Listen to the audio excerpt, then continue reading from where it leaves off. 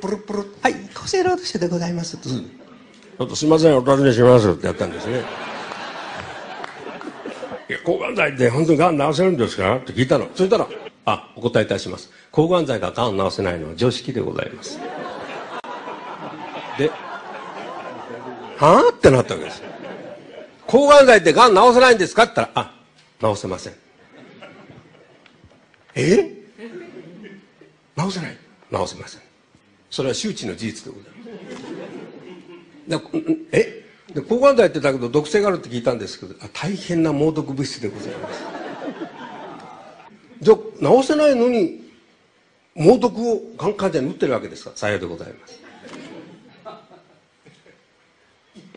じゃあその猛毒で亡くなっちゃうがん患者の方っていらっしゃるんじゃないですか？そういう方がものすごく大勢いらっしゃるんですよね。えー、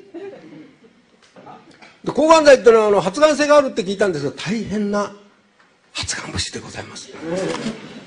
猛烈な発がん物質え抗がん剤発がん性があるんだ大変な発がん性があるえじゃそれを女の打ったら新しいがんがバンバンできちゃうんですかって言ったらそういう方が大勢いらっしゃるんですよね。えー、厚生労働省の保健局医療課長。こういう公の席で皆さんいいですか？いいですか？皆さん方ご存じないでしょうけれども抗がん剤ってのは打っても打っても打っても効かないんですよ。全く効きません。ほとんど効きません。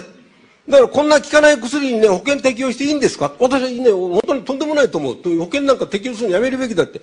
保健局の医療課長とか保健局の厚労省厚生労働省の技官がですね抗がん剤は効かないのは常識だって平然って言ってんですよ。がんは治さないって。ねはっきり言ってんですよ。そのわけにこんな効かない薬を保険に適用するのは何だと。ね？